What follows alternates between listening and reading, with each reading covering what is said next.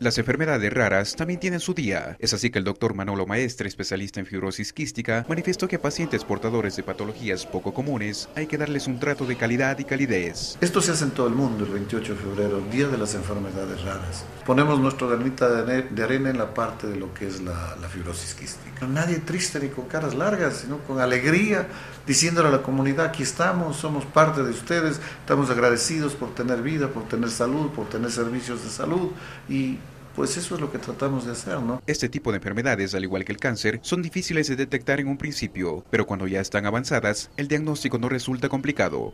Cuando ya está desarrollado, no hay problema en diagnosticarlo. Entonces los pediatras inician el diagnóstico, la mayoría, nosotros hemos diagnosticado en pacientes, en adultos. Hasta hace poco el límite de vida estaba alrededor de la expectativa de vida de 9-10 años. Hoy tenemos pacientes con 37 años. 5 mil dólares mensuales es el gasto de tratamientos en pacientes que poseen enfermedades poco comunes. Por ello que una familia que tiene tres enfermos con patologías raras no podría atenderse semanalmente con el doctor maestre si el gobierno no cubriera los 15 mil dólares de los gastos médicos. Contamos con la medicación provista por el gobierno y que realmente les da tranquilidad a la familia. Como le dije, en esta lucha medio contra molinos de viento. Yamil Bustán, El Informativo.